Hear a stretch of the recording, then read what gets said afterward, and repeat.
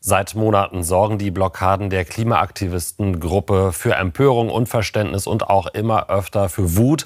Gegen Mitglieder der letzten Generation laufen auch schon etliche Verfahren und es gab Verurteilungen wegen Nötigung im Straßenverkehr, wegen Sachbeschädigung oder wegen Störung öffentlicher Betriebe.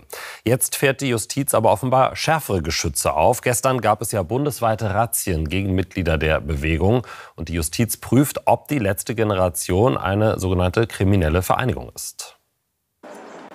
Um kurz nach 7 Uhr morgens kommt die Polizei, wie hier in Berlin, aber auch in Bayern, Hessen und vier weiteren Bundesländern. Und auch bei ihm klingelt es. Ingo Blechschmidt in Augsburg. Er stand im Impressum der heute beschlagnahmten Homepage der letzten Generation. Blechschmidt sagt, er habe nur Telefondienst für die Gruppe gemacht und die Vorwürfe seien völlig überzogen.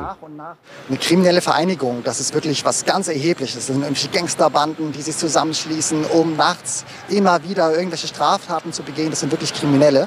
Und die Menschen von der letzten Generation und auch äh, ich vom Klimacamp, wir engagieren uns friedlich für Klimagerechtigkeit. Was ist die letzte Generation?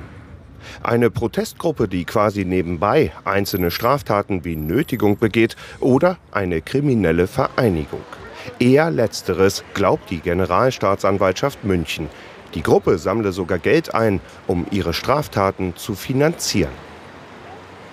Ob die Tatsachen hier ausreichend sind für eine kriminelle Vereinigung, wird sich erst am Ende dieses Ermittlungsverfahrens zeigen. Einen Anfangsverdacht hat man aufgrund dieser Spendenkampagne bejaht, letztlich auch der zuständige Ermittlungsrichter, der die entsprechenden Durchsuchungsbeschlüsse auch erlassen hat. Zuvor war die Generalstaatsanwaltschaft schriftlich etwas übers Ziel hinausgeschossen. Die letzte Generation stellt eine kriminelle Vereinigung gemäß 129 Strafgesetzbuch dar. Ausrufezeichen. Genau das ist aber überhaupt noch nicht geklärt.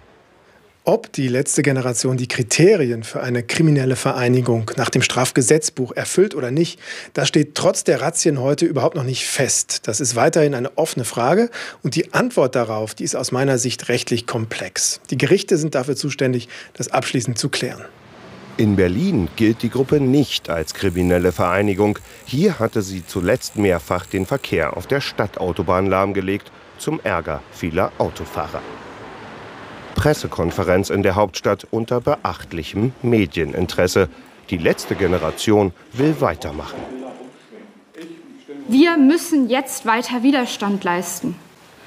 Denn wir müssen uns lautstark weiterhin dafür einsetzen, dass Leben geschützt werden.